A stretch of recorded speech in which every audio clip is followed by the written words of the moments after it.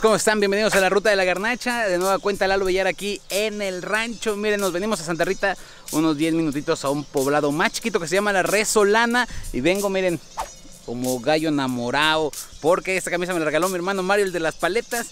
Y venimos aquí a la Resolana, muchachos, porque aquí hay un queso que preparan artesanalmente riquísimo. Así que yo quiero enseñarles cómo es que lo preparan, para que vean lo rico, lo bonito y todo artesanalmente. Lo hacen hasta con leña también el requesón. Bien padre que va a estar este día. Así que vengan a ver cómo se hacen queso de rancho. Vénganse.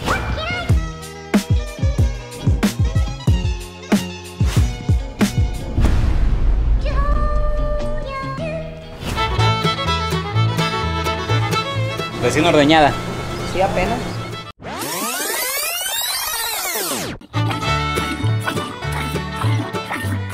Anteriormente era negocio porque traía los animales sueltos. Ahorita los tienes encerrados a base de pura pastura y todo te genera, por, o sea, derrame económico. Eh, anteriormente el gobierno que serían rateros o serían unos rateros, los cabrones pues te daban un apoyo, migajas, pero te daban, a- te apoyaban al campo. Y ahorita definitivamente el campo está olvidado. Pero tienes que hacer doble proceso, doble maniobra. Trillas aquí, se lo llevas a las bodegas. De las bodegas te lo criban y te lo llevan a la Conazupo.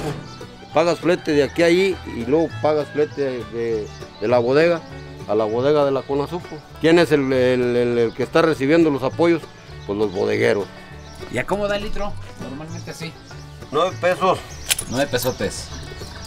Ah, pues sí, más barata. Pero sin campo no, no sucede nada en México. Pues precisamente el O sea- campo es el engrane principal para toda la república y poquito que se exporte, pero desgraciadamente no te voy a, te lo vuelvo a repetir, ¿de dónde salen todos los insumos para la Ciudad de México? Para todas las capitales, pues, si no es del campo. Porque se puede vivir sin fútbol, pero no se puede vivir sin campo. Campo, claro. Este es el primer proceso, muchachos. Cómo se ordeña la vaca. Después vamos a ir ahora a la casa de la señora, que es esposa del señor Manríquez, en donde ahora sí vamos a hacer la preparación del el queso. ¿Cómo se llama el campeón? ¿Cuál? ¿El burrito? ¿Burro así? ¿Burro nomás? ¿No tiene nombre? Y esta leche recién ordeñadita Sí, ahorita. recién. ¿Y de dónde lo traen? ¿De dónde son las vacas? Y pues estas sí son aquí mías, de Ah. las vaquitas que yo tengo. Oh, Pues ya ves, toda la demás se compra. eh, Llego pues sucio de, ah, de, de la ordeña, pero pues llego y me pongo mis botas, mi mandil, mi gorra y pues y a Ah. lavarme bien, mi cubrebocas. y vámonos. Y les ayudo también. Oigan, bueno, pues que nos va a explicar todo el proceso de este queso artesanal es aquí mi compa eh, Rafael Alcalá Gómez, que él ya tiene cuántas generaciones haciendo queso. Mm, Desde mi bisabuelo y posiblemente desde mi tatarabuelo. Eh, Imagínense ya haciendo queso y ahora lo está haciendo ya de manera artesanal, ya con una marca y toda la Mm, cosa. sí, ¿verdad? con marca ya. Y toda la familia hace también queso. Mm, sí, un hermano y tíos también, este, también hacen también artesanalmente. ¿Con la misma marca? No, sí, ya la marca es independiente. Ya cada Ya quien, cada quien, pero la misma receta. Sí, la misma receta.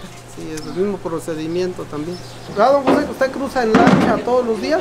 Cruza en lancha al, a ordeñar y ya de la presa se viene en la camioneta. Hay camino, ah, don José también, pero es mucho. Muy retirado. Y ahorita aquí, ahorita como que está bueno el camino, pero ya consiguen las aguas que lo resjode y la... Pero pues él cruza por la lancha que me apura. Pues sí. ¿Qué pasa después?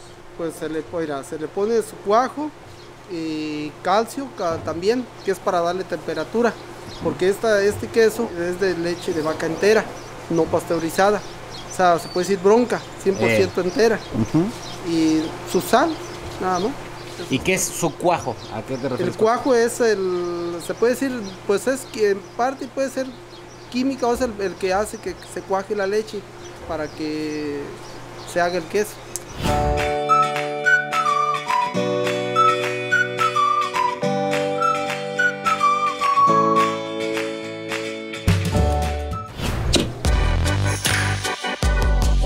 se pone aquí la leche con ese líquido ya empieza a cuajar. Y ya después de aquí se le mete en el costal, se le saca el suero.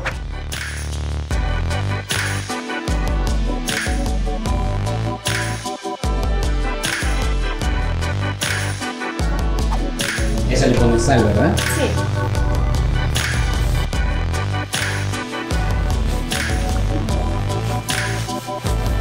Y después aquí la señorita estaba como... Moliéndolo. Moliéndolo. Sí, porque se queda, queda un poco duro. ¿Cuánto tiempo pasa en los tambos? Media hora o 40 minutos, más o menos. Y ya todo lo que sale de ahí, que es el suero, eso es lo que se hace para el requesón. Ah, sí, esto es para el requesón. Ya el suero pues cae allá a este lado del cuartito donde se saca el requesón. Y ese pues sí, sí sale bien esterilizado, porque ahí sí, pues ahí se muere todo. Para mí es uno de los derivados de los lácteos más sanos porque pasan por la ebullición y no trae mucha grasa, pero contiene, pues a lo que yo tengo entendido, contiene la proteína.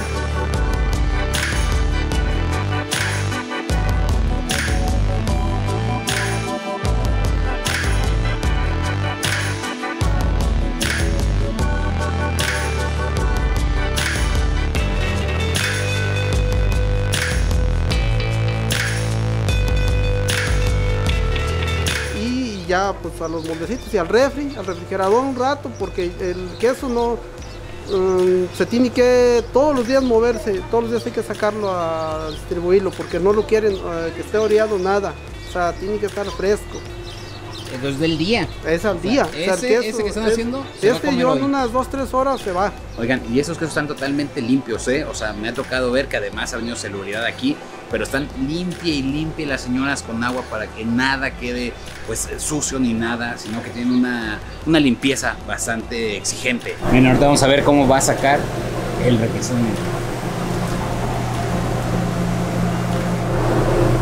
Muy calentísimo, pues aquí va.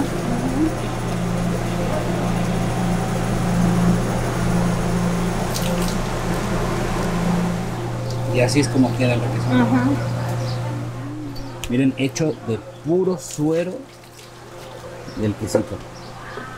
Y este requesón no tiene grasa, no tiene nada. Y sí, ya nomás cómo se ve. Y si quieren queso, ¿dónde consiguen tu queso? Mm, Bueno, pues aquí mismo donde, se, donde lo fabricamos y aquí en Ayotlán, en Maluco, Huáscato, Degollado, en las tienditas abarroteras que hay. Oye, ¿y tienes un teléfono si alguien quiere que te marque de una vez? Sí, tengo mi celular que A es ver, el ¿cuál es? 348 11 38 748.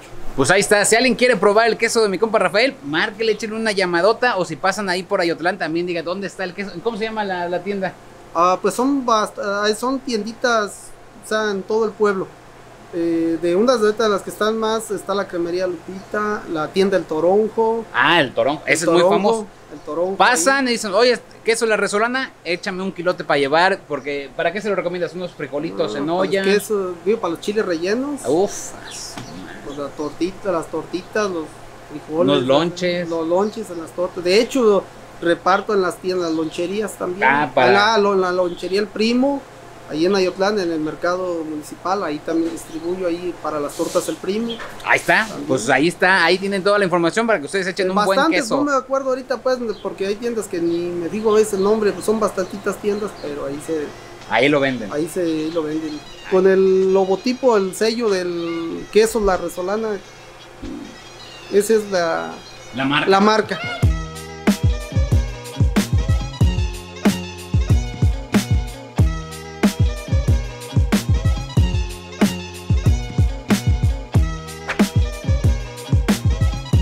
Queso recién hechecito. ¿Hace cuántas horas? Una hora, yo Una creo. hora, máximo una hora, Ingue, imagínate sí. una hora. No, hombre. No, no manches. Está bien bueno. Mm. Hasta parece queso panela este, ¿eh? Mm. Nada más unos frijolitos de la olla, un chilito y un tequecito y vámonos, papá. No, hombre. A ver. Mm. Mm, está bien rico, como cremita parece, ¿verdad? Muchachos, pues yo ya compré queso y requesón. Eh, me costó 75 pesos el kilo de queso. El requesón a 40 pesotes el kilo. Le voy a mandar una foto a mi papá para que vean cómo se le antoja y cómo está babeando. Hola Lalito, ya vimos el video del queso. Oye, qué rico se ve. Ahora que vayamos, A Santa Rita me vas a tener que llevar ahí porque a mí también se me antojaron mucho. Bueno, Lalito, pues próximamente vamos a ver si nos llevas a, a esa parte donde están haciendo ese queso para hacerme unas quesadillas. Bye bye, Es el Lalito. queso más sabroso, natural, fresco, rico. Bye. Pero, pues ni modo, está muy lejos. Cuídense mucho, yo soy Lalo Villar, soy la Ruta de la Garnacha. Nosotros nos vemos en el siguiente video. Y así de rico y así de artesanalmente se hacen los quesos aquí en el rancho. Bye bye, cuídense. ¿Con qué vamos a empezar? Vamos a empezar. Eh, ocupamos jitomate, cebolla, chile verde. Vean nomás el plato, o sea, hijo.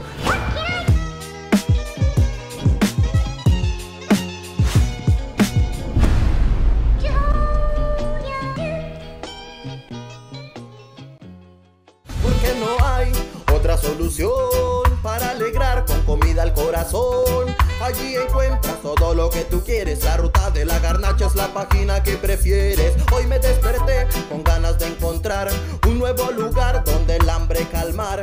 Pero descubrí que no sabía de alguno.